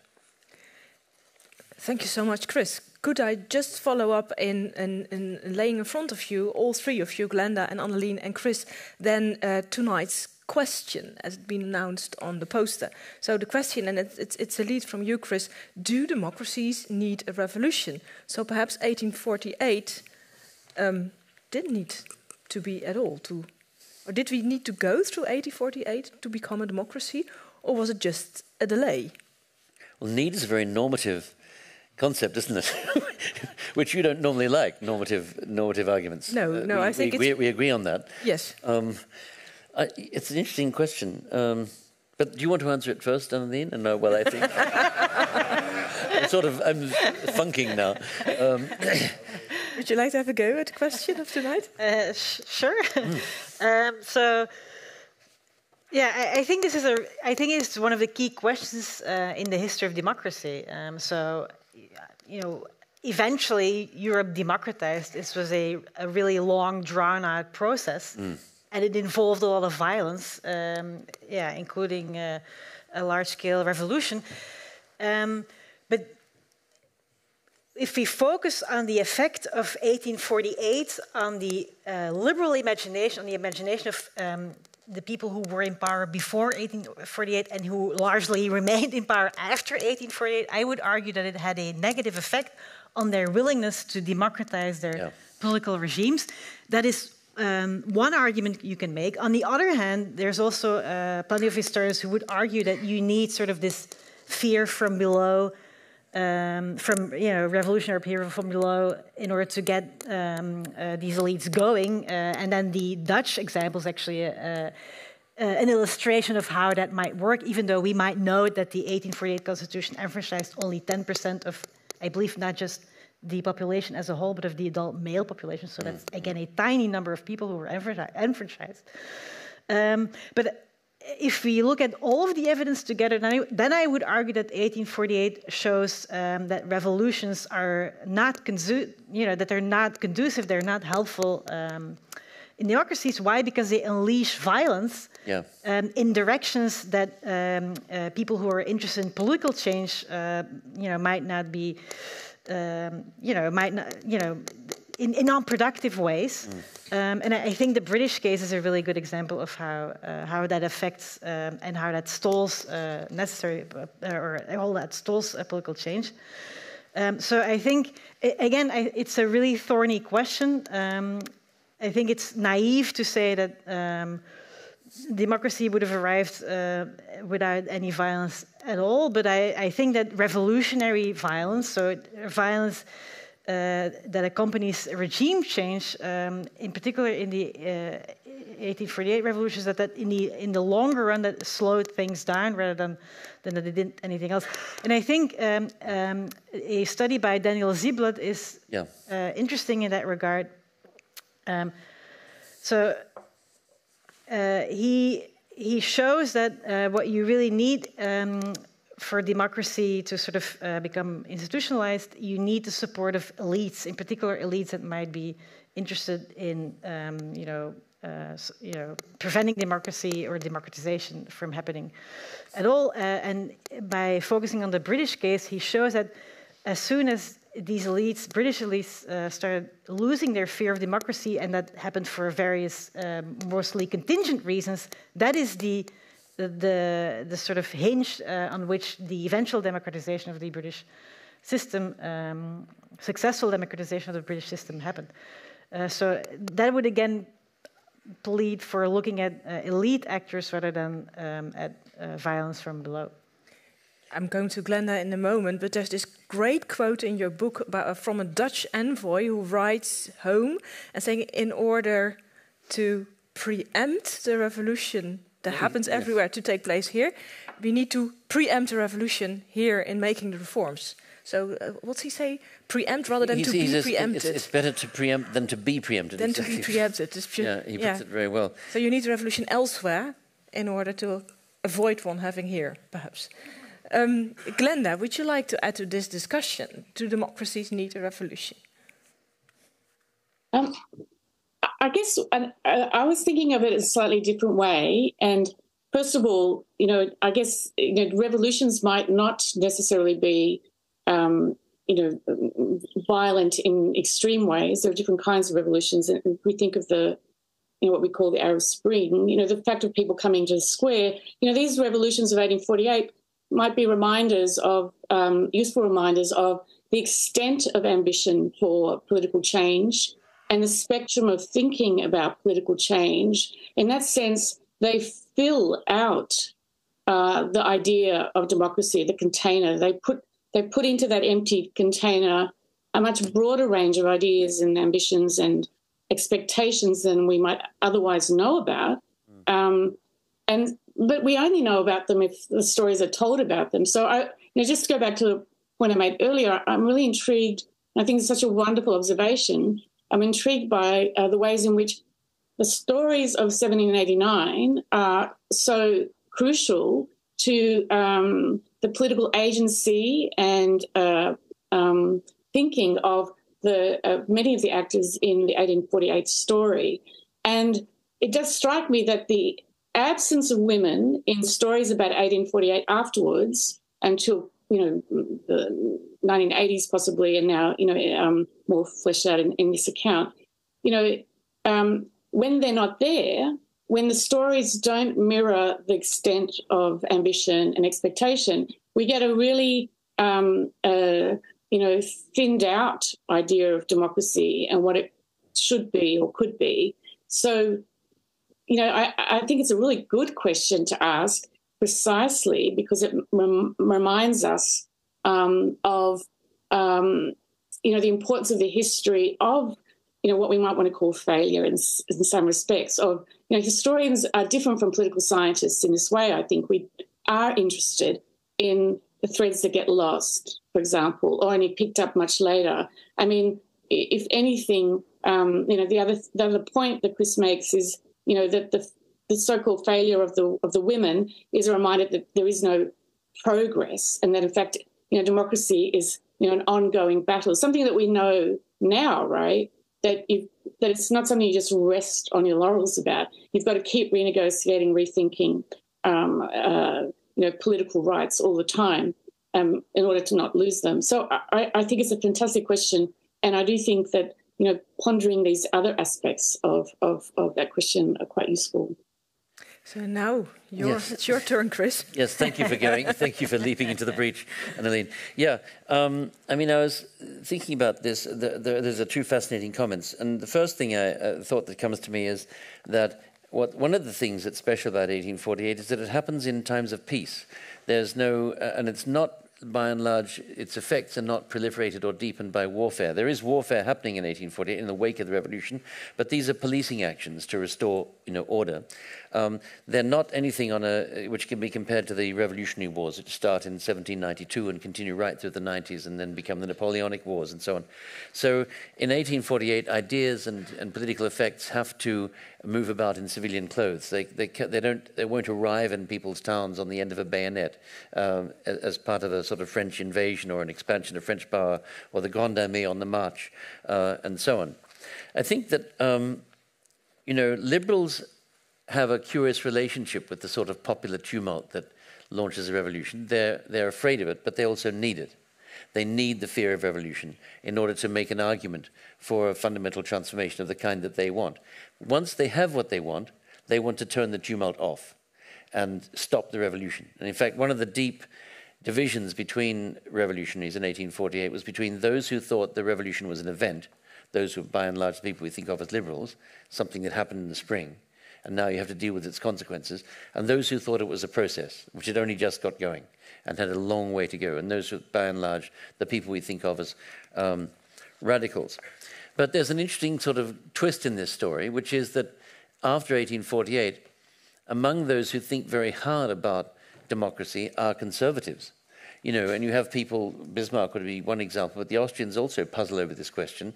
You know, maybe the real lesson of 1848, they think, is that the masses are conservative and that a de- democratic franchise, far from empowering the liberals, will actually empower the conservatives. Because once you get out to these little people, remember Trump's comment, we like the uneducated. Well, it's that kind of thing. You know, those people out there actually will support a conservative agenda. And, you know, um, so that's one of the insights that, you know, if you call it an insight. Bismarck I mean, had that insight in 1850 when he gave this lecture.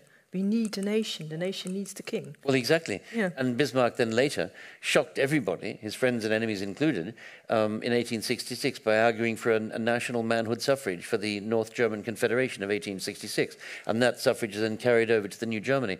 A deeply shocking uh, move by Bismarck. Um, you know, who was the last person anyone expected to speak up for democracy. So, you know, it's a strange world where democracy can be, you know, a weapon wielded by conservatives and even by reactionaries. As Bismarck put it, in a moment of crisis, the masses will always gravitate to the king. So um, there's also that, which kind of complicates this, the, the story in lots of ways. And then um, coming to, to Glenda's point about the, 17, the, the impact of narratives of early revolutions, I mean, as she says, as Glenda says, you know, 18, 1789 is just omnipresent. You, you can't emphasize it enough. They are thinking about this revolution all the time. And, you know, in a very famous and sort of damning um, parodic summary, you know, Marx described 1848 as a sort of pathetic reiteration, a pathetic tiny parody of the original Great Revolution, a sort of regurgitated cornflake from the Great Revolutionary Breakfast.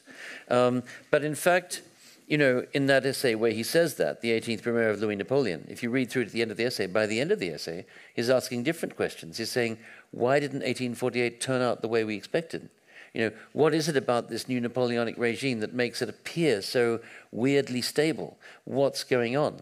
Because Marx never stopped. I mean, he was good at parody, but he never stopped at parody. He always went on trying to nut out the problems.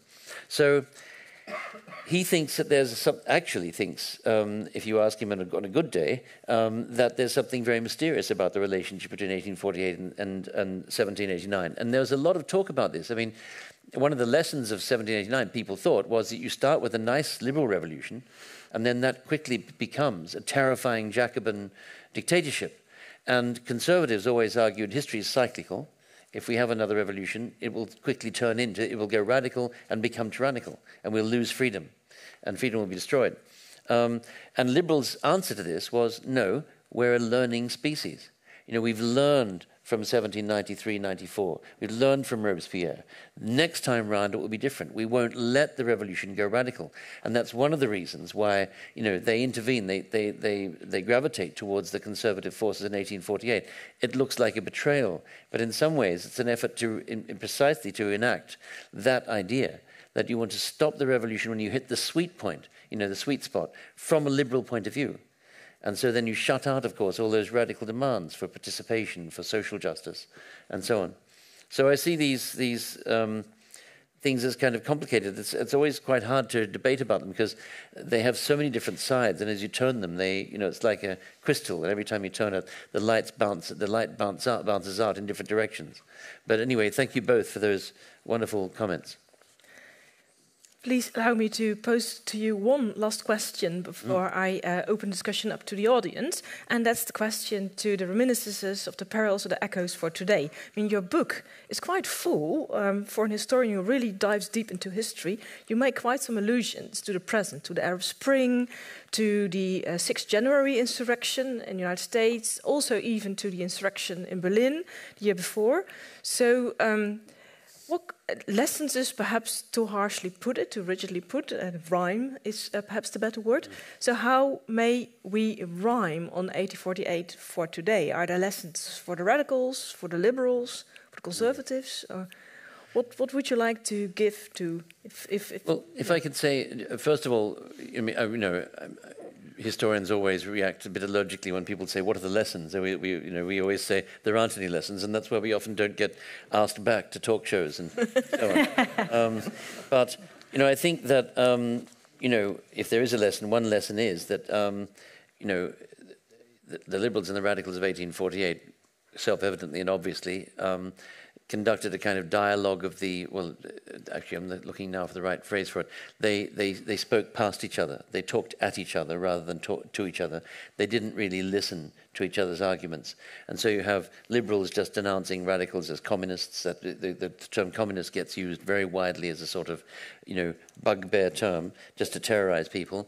And on the left you find people mocking the parliaments the parla parla parliament and so on as a useless chatting shop and so on. And of course, when they attack each other like that, they're both wrong. They need to be listening to each other.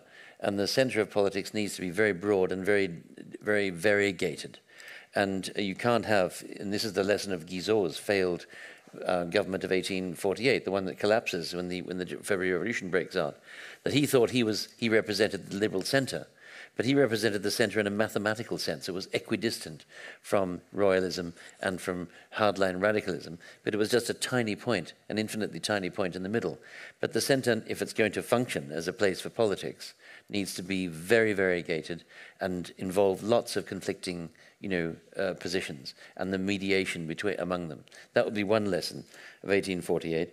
Um, and the other thing I was just going to say was if we ask ourselves why these rhymes are there, if, if anybody, if, you know, between now and then, it seems to me that, that the reason is that in 1848 they hadn't yet entered something that we're now leaving, which I suppose you could call high modernity. You know, the era of huge and powerful political parties, of national radio, national television audiences, of national newspapers. You know, um, these large disciplining formations of modernity we're not there yet. And so in 1848, there's a politics is fluxy and fluid and very multiple. And maybe we're re entering an era of fluxy, multiple politics. If you look at what's happening to the Conservative Party in Britain right now, it's sort of melting in front of our eyes. Um, and or the Republican Party. What's happened to the Republican Party? You know, um, so it may be that we're, thanks to the social media and other transformations, we're entering into a period of, you know, semi-opaque, complex interactions, which may be a little bit like 1848, or at least the period, you know, up to and including the revolutions. How do you feel about such echoes, reverences? um, well, um, I want to uh, link that to something that uh, Glenda uh, was uh, putting on the table, which is um, what role did 1848 play in uh, European collective memory um, in the subsequent uh, decades? Um, and I think one of the things we can learn, not perhaps from 1848, but from the uh, I mean, I'm fascinated by um, the persistence of certain tropes that were introduced in um, uh, in the aftermath of 1848, and one of these, uh, because I think that a lot of these tropes had an uh, an anti-democratic um, effect, and that they uh, they were unhelpful and they hindered the establishment of stable democracies in Europe. And one of these tropes is that uh, the masses are naturally prone to uh, populist authoritarianism. Yeah. That was one lesson that the liberals definitely thought that they had learned from 1848. Also because they felt that um, you know this was a lesson they had already learned once in 1789, and then 1848 uh, came along and it was just uh, confirmed. Mm. Um, uh, so that is um, and and um, you, the, the, this trope had a really long uh, shelf life because it then reappears again in the interwar period uh, when it is used to explain the rise of, um, uh, of, of uh, Nazism and fascism. Mm. Um, and I think there's lots of things that are wrong with this trope. I think it is um, really easy to show that um, that's simply not what happened in 1848, um, and I think it's important that we're aware. But I think it's important that we, that we are aware that our collective memory uh, continues to be shaped by by this um, supposed lesson from 1848. And a second lesson um, has survived a little bit less uh, well. Um, so that is the lesson that uh, Marx and Engels uh, thought they had learned from 1848, which is that democracy or that political institutions in and of themselves um, uh, are very important, but that the real key uh, things are, um, you know, uh, um, happening in the economic arena, and that if you want true regime change and true democratic regime change, what you need is to get rid of capitalism. Um, and I wouldn't say that this is, I mean, that is definitely a trope that was hugely influential, as we all know, but um, it, I wouldn't say it's as influential today as it was uh, 30 years ago um, uh, or, um, um, or in the uh, late 19th century. Uh, but, but sometimes you do he still hear echoes uh, of that trope. Uh, when I talk to Marxist friends, um, all of a sudden I, I realize that I again have Marxist friends. that, that, that, started happening in 2008. Before 2008, I didn't have any Marxist friends, and now I have um, lots of them.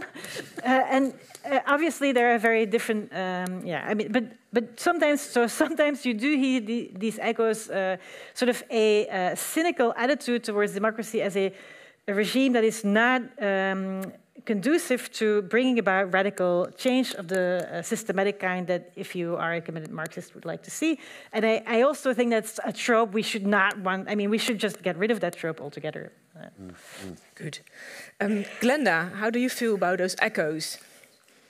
Uh, well, I think a lot, you know, really interesting points have already been made. I'd only say, um, you know, I've, uh, one could take the the lesson, and yeah, I know we, I quite like the ideas of, of bringing back lessons um, as as lessons about. Um, but I think that you are able to um, convey extremely well, Chris. That you have a strong sense of, you know, the psychology of um, this experience. It's you can read it as a you know a psychological thriller. You know, what you've got all these desperate people or people you know with with uh, varied kind of states in change and transformation, and even in what you describe now as you know. I don't think you use it in the book, but fluxy sort of atmosphere. Um, you still get what you what you also described at the beginning of your talk as a cascade you know, a cascade effect connecting all these people, even in the midst of so many different um, ambitions and objectives and experiences. Um, and I wonder whether, you know, that isn't a lesson for today in the sense of the, you know, the extent of um, of uh, of the depth of people's psychological, you know, um, uh, experience of you know of this post modern transformative you know anthropocene moment of climate change etc you have extinction rebellion and all the rest. And i wonder whether the lesson isn't there about how the, the cascading effect can happen even in a fluxy context if the challenges and the circumstances are, um, are there. And maybe this time the scale isn't european. I mean that's the other really interesting thing about your story that it's European in the absence of a, of a European political structure. And I wonder in our own times whether anything like this takes effect in its, in its fluxy moment of cascading politics, whether uh, the scope will be bigger in Europe. Thank you so much, Glenda. Um, now I would like to ask people in the audience whether they have any questions for our esteemed audience for Glenda, for Annelien, and for Chris. There are two mics in the hallway. Please don't grab the mic, just talk into it. And um, people from the KNAW will hold them up to you. And could you introduce your name briefly first? Yes, uh, my name is uh, Hans Wansink. And uh, I would like to ask a uh, question about uh, the Communist Manifesto, which you just uh, showed to us. But in your 800 pages book, you don't discuss the manifesto, which of course was published in 1848 at all. So, do you consider the manifesto at the time as irrelevant? I wouldn't say it was irrelevant, no, but Marx is one very marginal voice in the socialist world of 1848. Um, and the readership of the Communist Manifesto is not very large. And it's interesting to ask why um, it is not very large, but it's not one of the central um, utterances of 1848. It's a fascinating diagnosis. But actually, I found when I, uh, Marx is very present in my book, but the manifesto, you're quite right, the manifesto isn't. I found Marx um, much more interesting as, um, as a reflector on contemporary events. His journalism is absolutely brilliant and incredibly um, percipient and you know analytically deep. And uh, so I, I, followed him through the him and Engels through the events of 1848, 49, um, trying to sort of revisit him, check out what he's saying about each new stage of the revolution. But I think the, the manifesto is important for a history of the communist movement, obviously, or for the, or for the history of late 19th, the second half of the 19th century, um, the history of socialism in that era. But I didn't think it was a, a document which had a tremendous impact on contemporaries. That was why I didn't place uh, much emphasis on it. Well, maybe you uh, should uh, have. had, had more to say as well.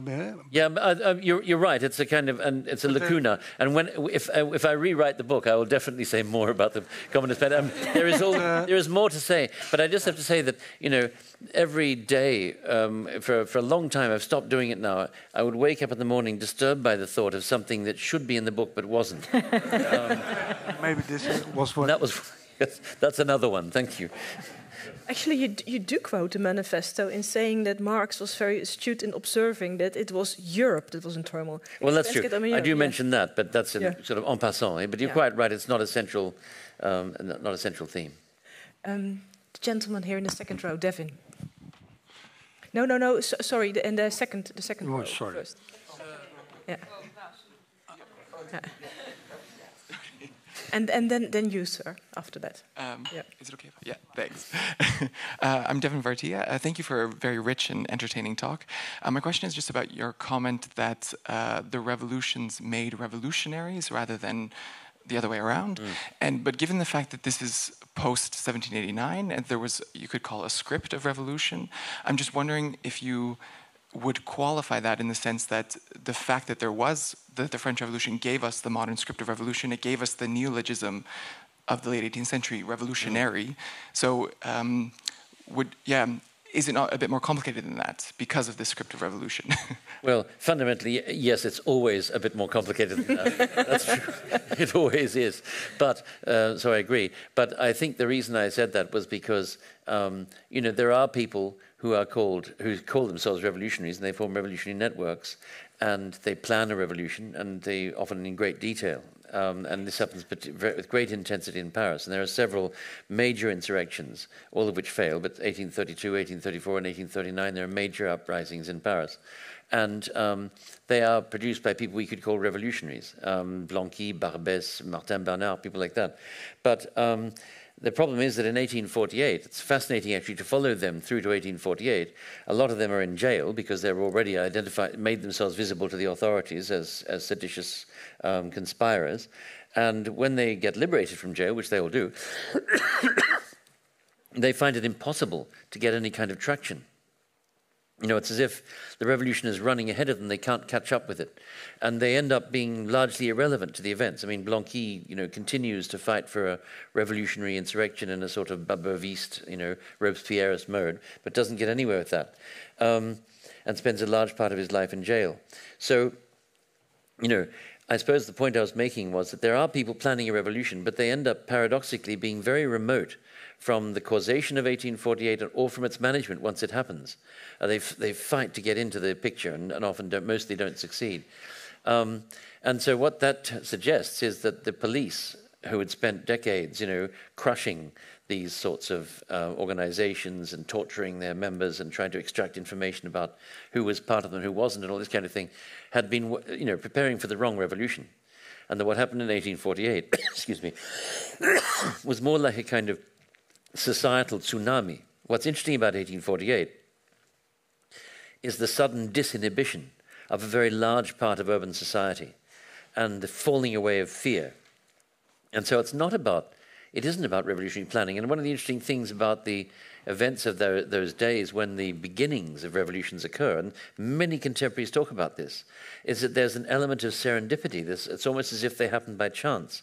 You know, in Palermo, it's the appearance of a poster saying, you know, in such and such a number of days, there will be a revolution you know, arise Sicilians, Siciliani, you know, it says you, you, will be, you will be free. And so liberty is coming. Signed, Comitato Rivoluzionario, or the Revolutionary Committee. But of course, there is no Revolutionary Committee. The guy who wrote this poster was a guy called Bagnasco. It was a kind of prank. He thought, you know, if people believe this poster, maybe they'll come out into the streets. Maybe there will be a revolution. And he was right. People came out into the streets. So, of course, did troops in double and triple strengths because they had seen the poster as well. And the combustion occurred when crowds and troops bumped up against each other. And Lamartine commented on the opening events of the uh, February Revolution. He said, It was as if the revolution was engendered by the expectation and curiosity of the crowds which turned up to find out if a revolution was going to happen. so there's an element of kind of self combustion about these revolutions. They are precisely not planned. And that makes them, in some ways, much more interesting because it means that the revolutionary situation creates a radical vacuum. And people then have to think, you know, what do we do next? What is the next step after a revolution? In, in a place like Paris, this is a really difficult question because there's no one to tell you who will be the authority to answer this question. Who's going to form the government? Who's going to tell you who has the right to decide who will form the government? And the way this actually happens is incredibly serendipitous and sort of improvised. So I think you're right that this idea of revolution is in people's heads, and that explains a lot of people's behavior. The script is there, and so are the fears about how this thing could evolve, but that doesn't translate into planning. It's, it's, it's present as a form of historical awareness rather than in the form of a, a plan for action. It's not so different from today's flash mobs and how in the Netherlands the curfew riots uh, came about, um, social media postings and then onto the street. Absolutely. Real, uh, real revolts. Yeah. Another rhyme. Uh, yeah. Um, gentleman in the third row and then the gentleman there. Yeah, I, I have another problem. Uh, my problem is you didn't manage, uh, mention uh, Mr. Jefferson and the Constitution of America in your um, addressed to us. And uh, with his dignity of man, he strikes a very important point of this revolution, I would say. And um, if you look at Saint Just, uh, one of the worst uh, in the French Revolution, he says um, to reach your goal, you have to terror, uh, have to, to use terror, you have to take the possession of people, and you have to chase people who didn't, uh, who are afraid for liberty, chase through the door. Yes. Is that the question? And that, that, uh, that is the uh, the thing I wanted to. Mm. My English is not so good. Sorry. Uh, no, absolutely no. I mean, I, I, think that's interesting, but I, I think that you know people make quite arbitrary decisions about what is relevant about the past and what is not. And there was quite a lot of interest in the American Revolution among the 1848 revolutionaries, especially in Germany, where they reflected on whether a German republic couldn't They reflected on the possibility of a German president, like the President of the United States. But the American Revolution did not have that kind of presence in, Europe, in the European imagination in 1848 the French Revolution did. Um, because people you know, simply were part of a culture which had made sort of arbitrary decisions about what was relevant and what was not, I suppose. That would be my response. We will now take three questions, and then perhaps the other panel members could respond to them as well. Gentlemen in the second row first. Yeah. Thank you, and thank you for uh, all of the uh, what you do. I want to concentrate my uh, on uh, the main question: Do democracy democracies need a revolution? This that's question, and uh, I think uh, I try to uh, the time is, uh, the question is uh, of if uh, the time is ripe for, uh, uh, for such as revolution in democracies, in democracies, and the, if yes, if the answer is, answer is yes, or no, is not, then we have to wait some more for that, that, that kind of revolution and fundament, fundamental uh, change, or uh, no, this is now uh, the time ripe, the time to to do something. And but I think uh, that uh, this is not uh, speaking about revolution with violence and something like that in this time. But we have to make much more and as much as possible uh, uh, possibility for dialogue for so as, mo- as yes, much as you. possible yeah. people. Thank you so much for that statement. That's an important statement, rather dialogue than bloodshedding. I think everyone will agree here. Um, gentleman in the fourth row, Stefano uh, Lissi. Yes, Stefano, yeah. Uh, and then the lady up there in the third row from above. Oh, thank you all for these wonderful keynotes and, and comments. Uh, my question was like for all of you, and uh, you mentioned that historicist perspectives were uh, a crucial cultural lens uh, through which uh, revolutionaries interpreted what was happening and also crafted possible future plans uh, between each other uh, mentioned 1789, but I can also think 1820, 1830. Uh, but the 19th century is also the era when, when many believe in the existence of, of national characters, uh, this innate feature shaped by, by climate, culture, etc., etc. So then I was interested to know whether these national stereotypes played a part in shaping plans for revolutions, and most importantly, in shaping transnational coordination plans between uh, the various revolutionaries groups. Mm. Thank you. Thank you, Stefano. Um, okay, um, my name is Emma. Thank you very much for the talk. Um, I was wondering, um, you said earlier that these revolutions cannot be considered a failure, but then also that the different revolutionary parties didn't agree with each other and didn't even look at how to uh, find a common enemy or a common goal. Couldn't you say that because they didn't find any ground to move forward together, they failed? Good. Um, Glenda or Annelien, would you like to respond to any of the remarks made now? Um, Glenda first. I feel that the expert in the room is Chris on these questions. but I do. I actually want to say that uh, in regard to the question on on uh, the place of nationalism, I suppose it would be in in the um, 1848, and I think we should hear Chris on this. But what I really appreciate about the book, and and you heard it in his lecture, I think, is um, the importance of understanding the European and even global scope of this you know cascade of revolution and uh, its transnational dimensions and the importance i suppose of of countering a historiography that was always um, so focused on the, the national stories that have forgotten the european or even the global so um, i really appreciated that aspect of the book i have to say Thank you, Glenda. That's a very valuable comment. Uh, Annelien? Um, well, um, I just keep on um, being triggered by this question. uh, you know, to what extent the revolutions were a failure or not, and that obviously ties into the question to what extent we can ascribe intentions to mm-hmm. uh, groups of people that, uh, yes, had uh, disparate um, objectives.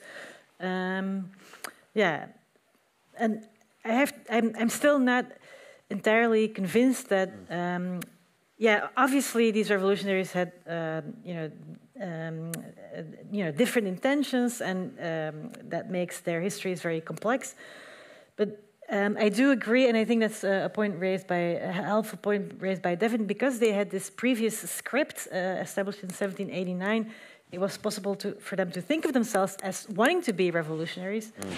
Mm. Um, yeah and I think we shouldn't overemphasize complexity either. Um, so I think, especially when you start comparing uh, 1848 in the French context to 1830, it's fairly obvious that the goals of the revolutionaries that end up being in charge in 1830 uh, were very different from the goals of the 1848 revolutionaries. Um, so in the yeah, I would, yeah, I, I, I yeah, I'm.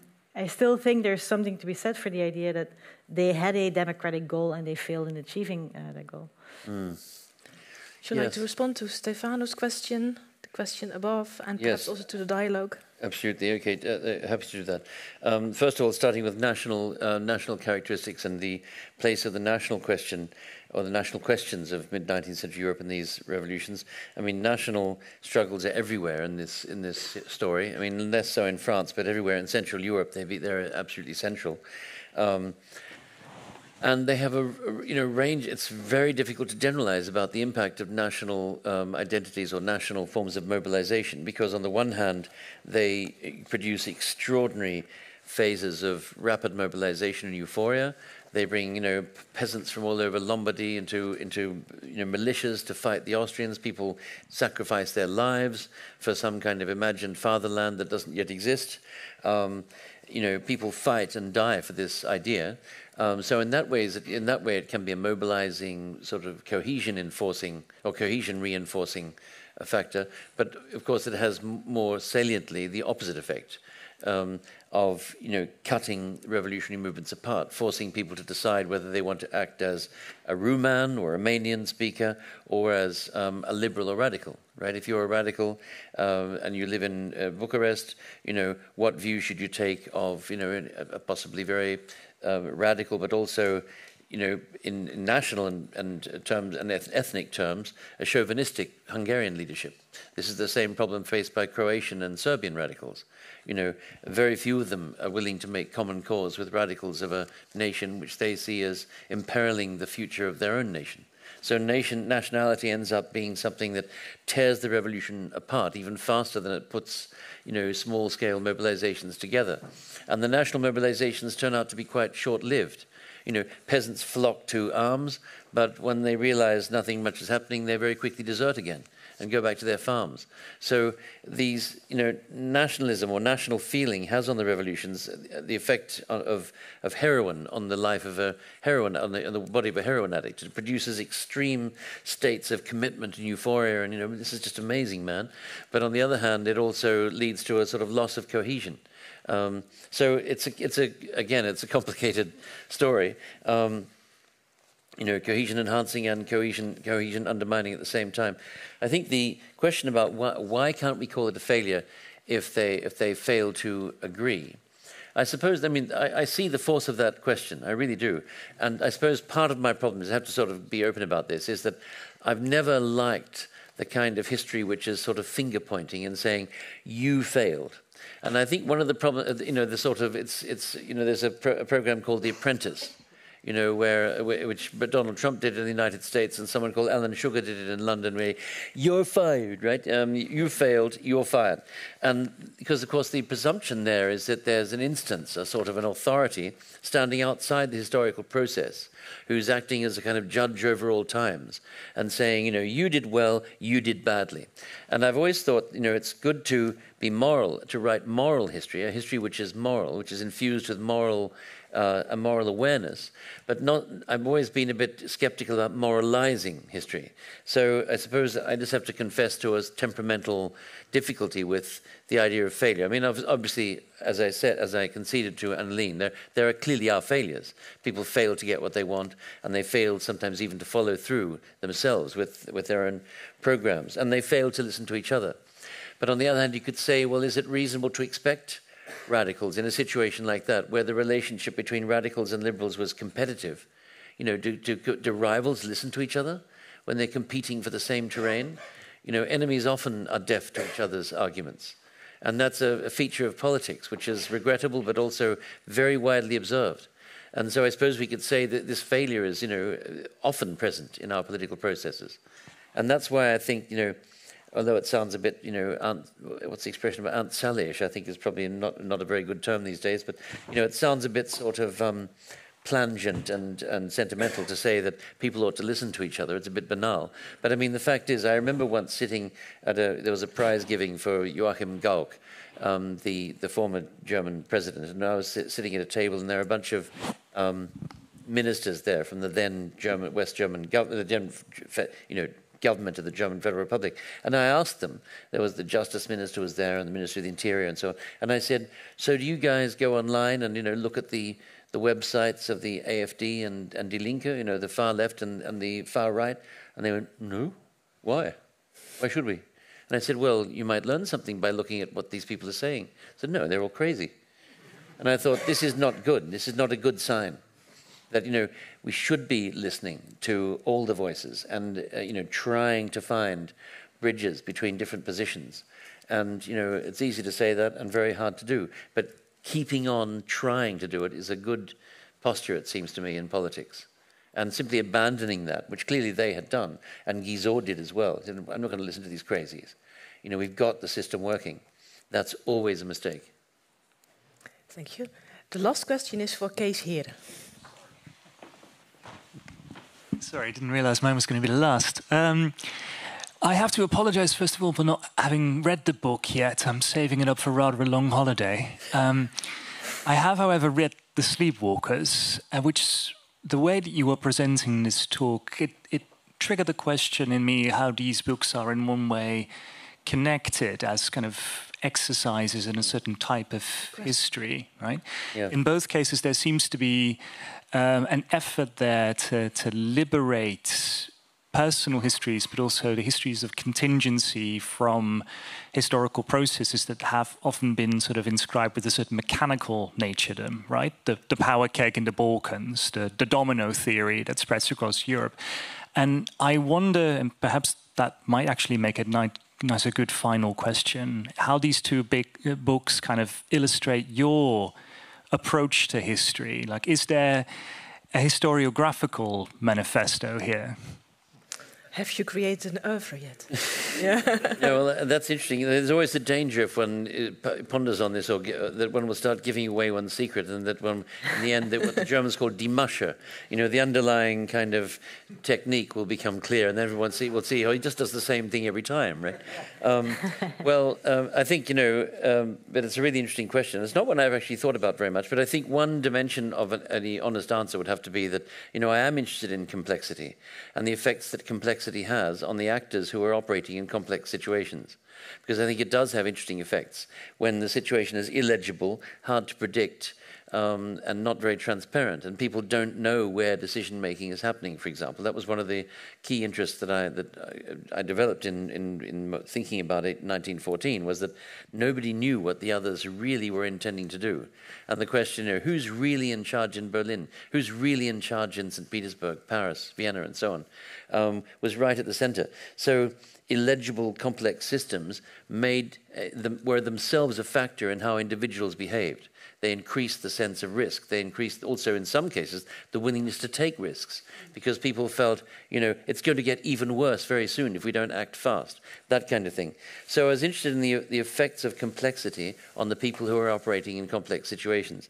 Um, and the other thing is, and that comes back to my, uh, the discussion we, I had with the questioner from up here, namely that I, you know, I've always been a bit skeptical to, or about or slightly allergic to very moralizing accounts. And I grew up in, in, as a school child and so on. In Australia, of course, 1914 was a central theme because Australians fought in considerable numbers for a very small nat- nation at that time, um, not around the world actually, in the Middle East and, and, Mesopotamia and you name it, but also on the fields of France and so on, and Flanders, um, and died in considerable numbers. And so we did study that, uh, that war, and what we were taught at school was that, you know, there were lots of good guys. The Russians were just quietly going about their business, and good old Britain was just trying to keep the peace, and the French were, you know, uh, sipping a cup of coffee and having a croissant in the morning, and, and then into this, you know, t- pleasant scene burst a sort of psychopathic maniac in the form of Germany and just started a war for, you know, and so on. And I just remember thinking, is this really the way history happens? Is you know, um, and it, the, the, sort of psychopath in the park thesis seemed to me just, and that was the way it was taught to us. You know, um, and I remember the teacher saying, when you're answering a question on the outbreak of the First World War, remember the five German provocations. Right? And we just listen to you know, ships. You shouldn't build ships because that makes the British upset. You know, Morocco, you shouldn't challenge the French in Morocco, that makes the French upset. You shouldn't help the Austrians in the Balkans, that upsets the Russians, and so on. On it went. And you know, I just thought, can then, is there not a way of thinking about this, which is not about, you know, why did the war break out?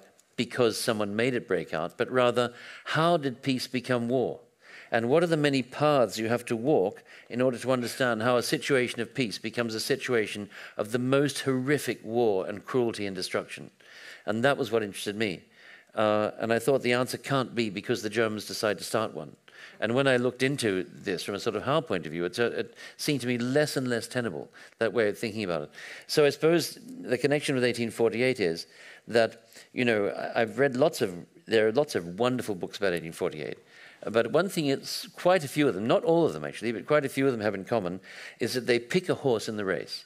And they say, these are the real revolutionaries. Everybody else is a counter revolutionary or a bastard or whatever. And, you know, um, and, and the real revolutionaries are usually the, the, the radicals because the radical program is effectively the world we live in today. We, uh, democracy. I mean, this is interesting, important to remember that they didn't want anything that we don't already enjoy now. They wanted, you know, and in fact, we enjoy more because we have, we've enfranchised the women, which the radicals didn't want. But they did want, you know, a mass democracy and all this kind of thing. And they wanted a welfare state or, or the elements of a welfare state and so on. That's all been achieved. So we look at them and we say, they're our people. That's us in the past. Let's see how they fare. And we find that they failed, but, or that they were thwarted by others. But in fact, it seemed to me more interesting to, to try and adopt a multiple politics where you try and think about what everybody's after, what everybody's trying to achieve. And then you end up with this multiplicity of intentions, um, which is in some ways it's a less linear um, story and one which is less lends itself less to a clear moral uh, inference. But on the other hand, I think is in some way, I, I hope anyway, is in some ways more instructive or uh, more generative of insight anyway for contemporary for our contemporary condition not of lessons, but, but one hopes, or at least I hope, modestly, of insight. So that would be my answer. I think that is the connection. Thank you so much for that brilliant last question, Kees, and even more so for the brilliant participations, your keynote, your reflection. Uh, Glenda, thank you for uh, staying tuned with us. And what I really liked, what we learned today, is amongst lots of other things, is that complexity also is very tangible, that, that, that it has a sensation with it and it has even a morality with it. That's very important to, to bring home. And if you're all finished with the revolution, I would like to thank you, Annelien, and you can go home and drink tea with this little gift. And uh, you too, Chris. Oh, good. Thank you so much. Quit the revolution, go home and drink tea. Glenda, yours will uh, uh, be arriving over post uh, in the next weeks. and thank you so much, all of you, for participating. And there's drinks outside. So thank you, and give me a warm applause, please, for Chris and Annelien.